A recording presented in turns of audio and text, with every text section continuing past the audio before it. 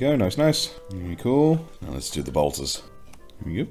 Nice, nice. Okay, and then of course, there we go. Right, cool. Along with his flamers, I saw this guy's hard edge highlights done. Nice. I've gone fairly subtle with it. I'm still very pleased with it. Yes, indeed. A little bit more on the top there than I would have liked, but never mind. Cool. Now I'll quickly do his colleagues, and then we can move on to some other bits. Yeah, this brush is due a nice long cleanup, I think, after this.